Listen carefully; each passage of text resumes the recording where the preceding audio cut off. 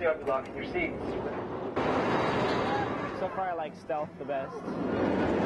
They spin you around, and then they, they tilt you up angles. at different angles. Sounds like a good time, doesn't it? These kids are actually in school.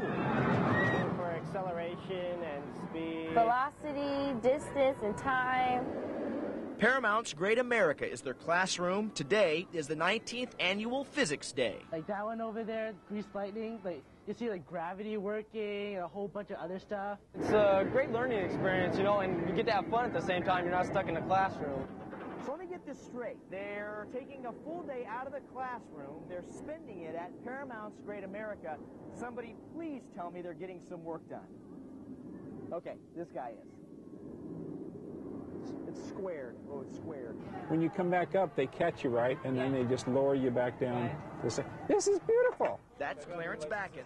Right here, it's registering about 50 meters per second squared, which is like almost 5 Gs. He's a physics teacher at Gunn High School in Palo Alto and helping students decipher the data they collect on thrill rides around the park. They get to the point where they get on a ride and they start thinking, geez, am I going to have more lateral acceleration or more vertical acceleration rather than, hey, let's just go have a good time. and measure the distance right then. Acceleration equals to velocity squared divided by the radius of the ride. Not the typical conversation at a park like this. Like the little cars make 47 revolutions. I would rather be sitting here than in the classroom. and then the big one makes 18 through the whole ride. Am I confusing you?